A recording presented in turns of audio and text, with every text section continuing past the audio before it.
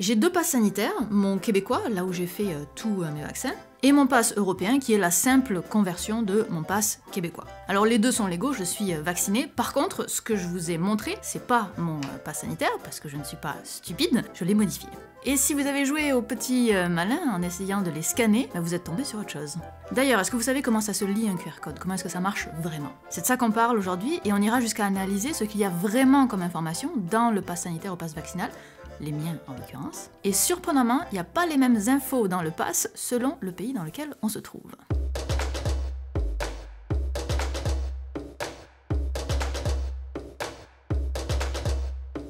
Un Quick Response Code, c'est ça que ça veut dire QR, réponse rapide, c'est comme un code barre traditionnel mais sous stéroïde. Dans les deux cas, donc QR code et code barre, ça sert à stocker de l'information, des lettres, des chiffres, des caractères, sous une forme qui soit lisible par un ordinateur, c'est-à-dire dans son alphabet à lui qui ne contient que des 0 et des 1, donc du binaire. Dans un QR code, tout ce qui est noir, ça représente un 1, et tout ce qui est blanc, ça représente un 0. Donc le QR code, si on voulait le traduire en 0 et en 1, ça ressemblerait à ça. Alors bien sûr, tous ces 0 et tous ces 1 alignés, ça veut dire quelque chose. Par exemple, si on a 0, 1, 0, 1, 0, 0, 1, 1, j'utilise une table de correspondance pour voir à quoi ça correspond. Et il se trouve que, eh bien, ça correspond à un S majuscule. Mais un QR code, ça ne se lit pas de gauche à droite et de haut en bas comme on aurait tendance à le faire nous. Non, ça se lit de façon vraiment décousue. Et je vous montre comment on lit un QR code avant de revenir au pass sanitaire, ça, ça va nous aider. Après ça, normalement, vous serez capable de lire un QR code sans téléphone, mais vous n'aurez probablement aucune envie de le faire. Voilà.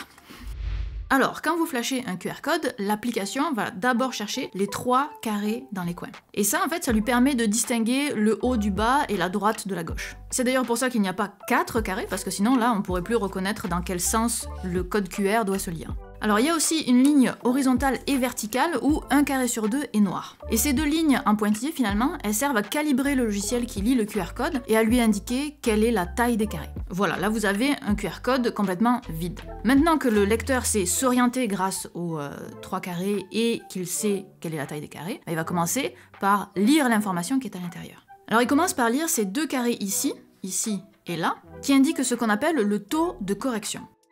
Oh non, j'ai renversé du café et une partie de mon QR code n'est plus lisible. Comment faire? Malgré la tâche, si vous le scannez, vous arriverez toujours à le lire. Ça, c'est parce que le code intègre des techniques qui permettent de retrouver l'information, même quand celle-ci est devenue illisible ou a été déchirée. Vous regarderez dans votre passe, mais moi, dans mon passe sanitaire français, à cet endroit-là, j'ai deux carrés noirs, comme ceci. Donc ça veut dire que je peux perdre jusqu'à 25% de mon code et être toujours capable de le lire. C'est ça que ça représente le taux de correction, c'est la quantité d'informations qu'on peut perdre dans un QR code et être toujours capable de le lire. Dans mon passe québécois, je suis plutôt dans cette situation-là où il y a un seul des deux carrés, c'est celui du bas qui est rempli. Dans ce cas-là, j'ai 30% de redondance et on voit qu'il y a 4 niveaux de euh, taux de correction possible de 7% à 30%. Donc vous pouvez euh, jouer avec vos QR codes et essayer de, de cacher une partie de l'information et de voir jusqu'à quel point vous êtes capable de le scanner et vous verrez que ça varie énormément selon les deux petits carrés que vous avez euh, dans votre QR code et qui indiquent le niveau de correction de celui-ci. Et ce niveau de correction là, ça explique aussi pourquoi est-ce qu'on peut mettre un logo en plein milieu d'un QR code comme ici. En fait, là, on profite de la super capacité du QR code à se régénérer en quelque sorte pour mettre autre chose, faire de la personnalisation comme un logo. On a aussi les 4 pixels là en bas à droite qui indiquent si notre QR code contient uniquement des chiffres ou des chiffres et des lettres, etc. Donc là, moi par exemple, j'ai choisi euh, alphanumérique, mais j'aurais pu choisir autre chose. Donc finalement, moi, dans la version du QR code que j'ai prise, tout ce que je vous ai euh, colorié en quelque sorte, c'est là pour expliquer à la machine comment lire le message. Ensuite, on a tout cet espace-là qui n'est pas coloré, qui est utilisé pour enregistrer vraiment de l'information. Et l'espace qui est en bleu ici, qui sert à rendre l'information redondante. Donc le taux de correction dont on parlait. Et quand on parle de redondance de l'information, j'en parle pas beaucoup, mais il s'agit pas d'une simple recopie de l'information à un autre endroit. C'est plus malin que ça. Et pour résumer, c'est à base d'opérations mathématiques, d'addition, de multiplication, de polynômes. Et ça, c'est vraiment un autre monde dont vous trouverez le détail dans la norme ISO correspondante. Bonne chance. Nous, ce qui nous intéresse le plus, évidemment, c'est l'information elle-même, donc cette section du code là. Et c'est ça qu'on va chercher à lire. Et là aussi, comme pour le reste du QR code, ça se lit pas simplement de gauche à droite et de haut en bas. C'est différent. Comment ça se passe? Dans l'exemple que moi j'ai pris, ça se lit par bloc ici de 8 petits carrés, où chaque bloc va représenter un caractère. Donc on a le premier bloc, le deuxième, troisième, quatrième, cinquième, etc. etc. Et à l'intérieur des blocs, là aussi, c'est toujours pas de, de, gauche à droite ni de haut en bas. Je vous ai refait des blocs ici en plus gros pour vous montrer à quoi ça ressemble. Donc on commence ici, puis là, puis là, puis là, puis là. Et là, on vient de lire un de nos petits carrés ici, on vient de lire le carré numéro 1. On continue notre sens de lecture, et on redescend quand on passe de l'autre côté et une fois rendu ici, ben, on recommence exactement la même logique que dans la première colonne. Et donc on va lire vraiment les informations comme ceci, découpées en blocs de 8 cases. Ces sens de lecture-là, on s'entend que pour nous ce serait un enfer, mais pour une machine, ça fait aucune différence. Ensuite, ben, il suffit de traduire chaque bloc. Donc par exemple, si j'ai ce bloc-là, j'ai donc un 0, je commence par 0 ici. Ensuite, j'ai un 1, 0, 1, 0, 0, 1, 1. Et si je me réfère donc à ma fameuse table de correspondance, c'est encore S majuscule. Et là, je viens de décoder le premier caractère de mon QR code. Il reste plus qu'à décoder ben, tout le reste de chaque bloc. Alors ce que je viens de faire c'est vrai, mais j'ai omis tout un pan de la lecture du QR code qui complique un petit peu la chose. En fait, si on créait le QR code comme je vous l'ai expliqué jusqu'à présent, on se retrouverait avec des successions de blocs noirs ou blancs, et c'est dur pour la machine à un moment donné de savoir s'il y a 5 ou 6 carrés d'affilée qui sont noirs ou qui sont blancs. Parce que dans un vrai QR code, il n'y a pas de grillage comme ça. Donc si on se retrouve avec tout ça, ça peut être dur pour la machine d'arriver à distinguer, ok, il y a combien de carrés vraiment qui sont pris là-dedans? Et donc on va essayer d'avoir une méthode qui permet de d'aérer quelque part le QR code. Et on fait ça avec des masques. C'est-à-dire qu'on va prendre notre QR code et puis toutes les cases qui sont visées par le masque que j'applique là en ce moment, eh bien les cases qui sont en dessous, il faudra que j'inverse la couleur. Alors là je vous ai montré un type de masque, mais il y a plein d'autres masques différents. Et le générateur de QR code choisira celui qui amène à la meilleure lisibilité du code. Et pour savoir quel masque est utilisé dans notre cas, ben, on se réfère à une autre partie du code dont je vous avais euh, caché l'existence jusqu'à présent. Oulala. Et donc là, avec le masque que je viens de vous montrer, le code... Non, c'était pas ça Je me suis trompée Pour ça qu'il y a des ordinateurs pour le faire. Bon, ignorez ma petite rature. Le masque que j'ai utilisé euh, correspondait à ces trois cases ici avec deux noirs et un blanc au milieu. Et donc même chose ici, deux noirs avec un blanc au milieu. Pour résumer, pour arriver à décoder un QR code à l'œil, nous, en tant qu'humains, on n'a pas besoin euh, des euh, carrés dans les coins, on va pas les lire euh, réellement, on va pas lire non plus ces lignes-là pour nous donner la taille des carrés, on arrive à bien le distinguer de nous-mêmes. Et on ne s'occupe pas non plus de toute la partie qui est gestion de l'erreur, donc on va s'intéresser surtout à ça. Premièrement, on repère quel est le masque, donc avec ces trois cases qui est ici. Ensuite, on applique notre masque sur le QR code que l'on a. Ensuite, on regarde si c'est euh, des chiffres, des lettres, des caractères qui sont encodés, etc. Ensuite, on isole chacun des blocs. On applique le bon sens de lecture à chacun des blocs.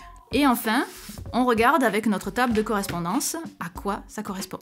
Et badabim, badaboum, c'est décodé.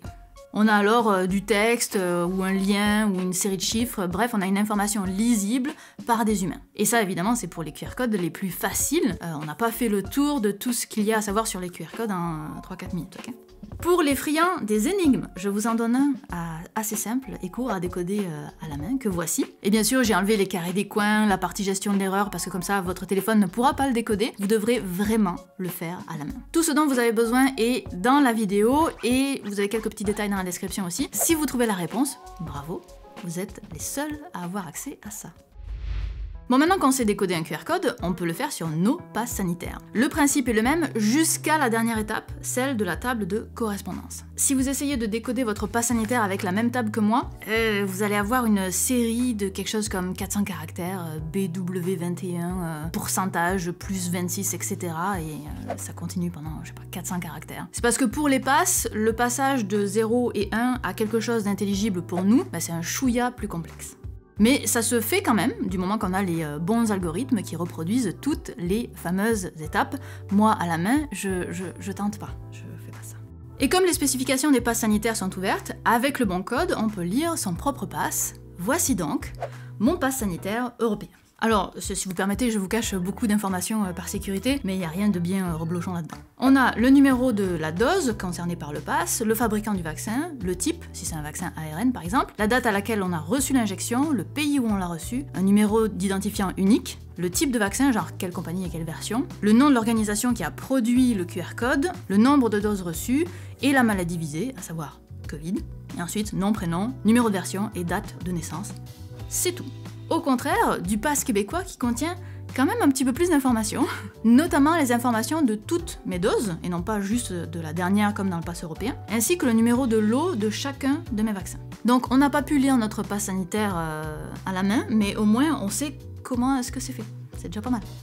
Alors, on parlait de falsification en début de vidéo, faut que j'en parle évidemment. C'est pas parce qu'on peut lire l'information des passes qu'on peut en reproduire un. Ça va dans un sens, pas dans l'autre, c'est un procédé asymétrique. En fait, ce qu'on voit pas là-dedans, c'est qu'il y a une partie du QR code qui sert à signer le document, c'est-à-dire à, s'assurer que ce document a été bien émis par telle ou telle institution. Et cette signature, elle a quelque chose de très subtil parce qu'elle dépend des informations qui sont dans le pass. Donc ça veut dire qu'on peut pas simplement copier-coller la partie qui sécurise le pass d'un pass et l'appliquer à un autre. C'est d'ailleurs pour ça que la seule façon connue et évoquée dans la presse de créer un faux pass, c'est de générer un vrai pass, mais avec de fausses informations. Moi, ce que j'ai fait quand je vous ai montré euh, mon, faux pass sanitaire, j'ai juste mis un autre QR code sur le QR code de mon pass. Ça, ça peut même pas être scanné avec un lecteur de pass sanitaire. C'est vraiment le niveau zéro de la falsification, ce que j'ai fait. Ça marche pas.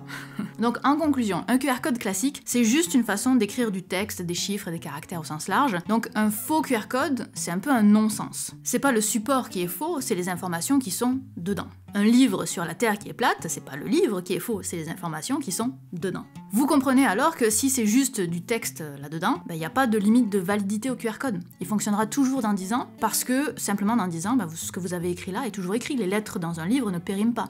Pareil pour le QR code. Je vous accorde que ce qui peut changer par contre, c'est que le QR code renvoie vers un site web qui n'existe plus, ça oui. Ou encore que les normes de lecture des QR codes changent. Mais ça, ça devrait plus vous poser de problème puisque vous savez lire un QR code à la main maintenant, non? Une fois n'est pas coutume, je vais faire mon auto-promotion en vous parlant de ma chaîne secondaire qui s'appelle C+.